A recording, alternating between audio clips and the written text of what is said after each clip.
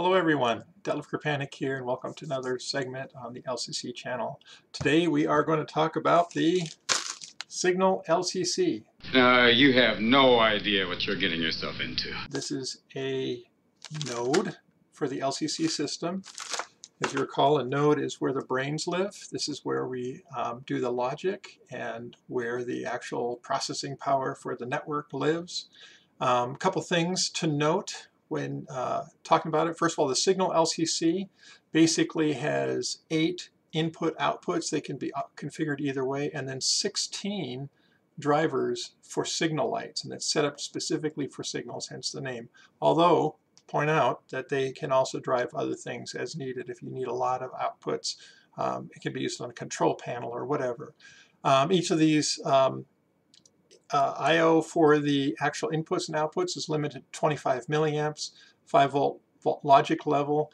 Um, the LEDs are pre-configured with a current limiting resistor. I'm not sure what the current rating is, but basically you can just add resistors. I imagine two or three uh, LEDs. I imagine you can use two or three on each one and you'll be fine. We're going to go through that in a minute, but before we get into the details of it, I do want to show you something here. Um, every node on uh, on the planet, right? Uh, every node that's created has its own node ID, and when you pick up one of these, you'll see that right here on the package is the node ID. Now what's important about this is that this is the unique address for this node in the entire world. It's, it's absolutely unique to this node, which means if you're in a modular group, you can plug your modules together and then put your nodes onto a common shared network and every one of them will be unique. And all of them can read from each other, so that's really cool. Um, the manufacturer does put that information right on the bottom. You can see a little sticker there. Now to be honest, you know when you mount this onto a panel, um, that's usually going to be now hidden. So what I do is just take a fine point Sharpie and I write the last two or four digits on the edge of the uh, uh, cable, CAN connector cable, uh, uh cable connector here that um, so that way I know you know what the what the node ID is after I install several of these, right? So that's something to note. Now we're going to also point out there's two kinds of signal LCCs. There's a signal LCC P, which is P for pins, and that's what this one is. It has little pinouts for the connector for the signal. Or there is the signal LCC-S. And the only difference is that on the S it has screw terminals along the edge here instead of pinouts. Depending on your application, maybe you want the wiring directly landing onto the node, and you use the screw terminal type, or if your signals or whatever your panel is a little bit more remote, you can use the, uh, the pin type, and then you just have a jumper or some wire connectors that you can uh, take them across the layout to wherever your, your final termination is. By the way, while we're here, I'm going to show you real quick. Um, if you're going to get into this, you're going to want to get yourself a roll of this 10 conductor cable. So it's a flat cable, it's a structured cable. Um, you can get it through RR-CirKits or a number of other places. I bought a 100 foot roll and I'm about halfway through it right now. Um, very helpful that you, you know, don't have to worry about jumpers and stuff like that. What goes with it is a structured connector type. These are called IDC connectors. It's a 2 by 5 or a total of 10 pin structure connector. The neat thing about this is that they have, you can kind of see it there, um, teeth that bite right into the cable. So you basically, all you have to do is really simple, is you slide that in and, and now you've got uh, a connector. You can use some, um, I use slip jaw pliers and just gently press this flat. If I mash this down, it'll pierce the actual connector conductors uh, and the uh, and the wire, uh, the wires themselves inside of the cable and make the connection. You can make these to whatever length you want then and uh, makes it a whole lot easier to wire out. And plus these look really neat on, uh, on the control boards and things like that. So anyway, uh, with that, we're going to go ahead and do a walk around the Signal LCC point by point, step by step, step and uh, what is included. Okay. All right, here we go. Here you can see the uh, Signal LCC-P because it's got the pinouts on the end here. So this is your typical board configuration, what it looks like. Um, just for grins, I'll go ahead and show you the dash S. This is the S, and you can see they're very similar. The only difference being that now we have these compression terminals on the end. So let's go ahead and walk through this all the way around the edges so that you can see what each of the pieces do. and how you wire them out. Okay, so this is kind of a schematic view. Again, this is the dash P version. You can see the connectors here are defined. Um, oh, by the way, all this can be found inside the LCC manual, which is on the um, RR-CirKits website. Um, but this is hopefully just going to get you kick-started a little bit. and by the way, the way that RR-CirKits numbers things is they always go clockwise. So you start at the top and you go around like a clock. Okay, as you can see, we've got the pinouts here for our four different signal heads. And uh, again, the, the numbering is always clockwise. So H1 would be your first head, head 1, common, green, yellow, red, and lunar. Head 2, H2, common, green, yellow, red, and lunar. And then you go around H3, common, green, yellow, red, and lunar. And finally H4, head number 4 for the signal common, green, yellow, red, and lunar. So the pattern repeats itself and you just work your way around clockwise. Um, if we jump over to the LCC-S for screw terminal, we have the same kind of a pattern except this time we have the common green, yellow, red, lunar, and common green, yellow, red, lunar. But I'm kind of getting ahead of myself here. Let's go ahead and just start at the upper left-hand corner. And the first thing you see here is this indicator that's 20. Okay, what in the world does that mean? It means that when you're doing your calculations for the amount of uh, power the uh, LCC system is needing, this board itself, the actual physical board, takes 20 milliamps. So if you got a board, it takes 20 milliamps. If you have two of them, it's 40 milliamps, and so on. Keep in mind that the power point was rated up to 500 milliamps per branch, right? It was 1 amp total, but 500 milliamps per branch. Now this number here is the uh, number of milliamps for just the board. If I start powering up each of the pins, I need to add that to it. So I would allow definitely more than 20 milliamps per load, uh, per, uh, per node here. Uh, but in any case, it gives you an idea for a starting point. Okay, so that's the upper left-hand corner. The first thing we run into is this giant connector called IO1. And again, this is where you have your eight inputs or outputs.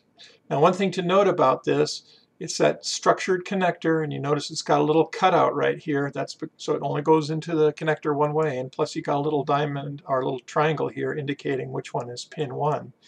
If we jump into that, you'll see that um, there's a schematic for that. And basically that pin 1 corresponds line 8. It's the opposite. Okay, so pin 1 connects to line 8 on the actual node. So this is the pin number on the connector. This is the connection name when you get into configuring that node. What's the actual output? So pin 1 connects to output 8, pin 2 to 7, 3 to 6, 4 to 5, and so on. And then on 5 and 6, you actually have access to power and ground. Everything on the LCC node runs on 5 volts. It's your, back in the day it was called TTL logic. And uh, so you have your power and ground, 5 volts and ground on 5 and 6 on the nodes. And then line 4, 3, 2, and 1, again, these are inputs or outputs on 7, 8, 9, and 10 respectively. And then the same idea here, hang with me again, your pin 1 is the little triangle shape here on your IDC connectors. Uh, here's your and you know pin numbers are, are actually these are your connection names 1 2 3 4 whereas your pin numbers go 1 through 10 the opposite direction uh, make sure that you put your tracer consistently on wire 1 because if you start getting that confused you'll look at one end of the cable and then you got to make sure the other side is actually you know mirroring that and you always want to know which which pin is uh, associated with wire 1. Okay, does that make sense? In any case, um, the consistency is an important thing. Anyway, enough of that. So let's go back to our signal LCC node. A little bit about what's going on there. The next thing you'll come to is a jumper that says CANCC. Now this is something really cool. Um, when you have LEDs, especially signals on LEDs, you don't want to run two wires from every one of the signal lamps all the way back to your module uh, or to your node, whatever. Um, the, the reason is you're going to have just a big bundle of cable there. You might as well share the common off of one end of the LEDs so that you don't have to do a bunch of wiring. And then for each of the different lights, then you only have to bring one unique wire back. Let me show you what that looks like.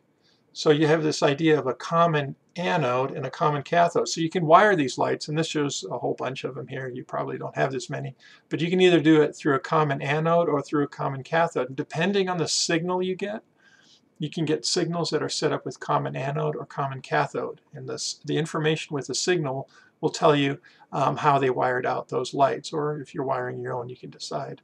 So common anode basically means it's sharing the plus or the power side of your circuit and then it breaks it out to each of the LEDs and then you switch on and off the minus or the ground for each of the LEDs to turn one on or off, right?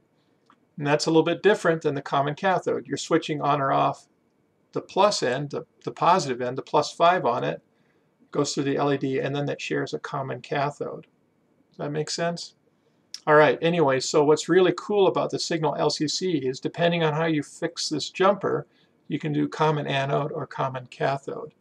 Now it only applies you know one way. You can't have half of these common anode and the other half common cathode. What you got to do is pick which way you want to wire out your signal LCC. But what's cool here is that you can get all these to um, to play together with either system. Okay. We kind of talked about this a little bit before, but here's where you wire out all your different indicators. Um, they are grouped by signals, and when we get into the CDI, that's the configuration tool, you'll see how to configure those lights. Now they're indicated at lunar, red, yellow, green, and common, um, but you can make them for whatever you want. You know, you could use two of them for red and green here, and you could use two of them for red and green on some other applications. Totally up to you. It's just a way of designating them. So this is your H refers to head, head 1, head 2 on your signals. And as like I said, you go around the corner, here's head 3 and head 4 for your uh, four different signals, each with four different indications. That's the way they number them. Again, work clockwise and you see that the pattern repeats, C, G, Y, R, L, and so on around all the way, C, G, R, Y, L, and onward. I didn't want to jump over this here. There's a little connection, generally not used, but when you um, have a layout that sometimes may have intermittent power supplies or maybe somebody shorts out, you know how your detection disappears? You might have detectors feeding back into the signal LCC, and if you lose the detection for a moment, follow me on this, now your signals will start flickering around because they say, oh, the train's not there anymore. It's shorted out. I don't have a signal. What this does is if you lose layout power on this little bus here, it, tr it tracks the power to the layout through an on-off. And this can come from like just a power detector, but it's got to be 5 volts, right? So 5 volt input. But you basically connect it here and it'll, if you lose layout power, it'll lock in the last indication off of your I.O. and just leave it there. And then when the power comes back, it'll start processing logic again. So working our way around head 3, head 4, and then you've got these blue and gold buttons. You know, to be honest, I've never used them. It's something that's kind of a legacy NMRA standard. Um, uh, frankly, I would just ignore them and just go right past them. And then working our way around, we have the two uh, connectors here for your uh, Ethernet cable, which is actually the CAN bus cable. So it doesn't matter which one's which. There's no go into or go out to. You just connect them in a daisy chain. So that's it. That's the Signal LCC. Um, hopefully this was helpful helpful to you. And um, again, if you have any questions, feel free to put them in the in the comments section. I'll see if I can get back to them. And we'll see you here next time. Have a great day.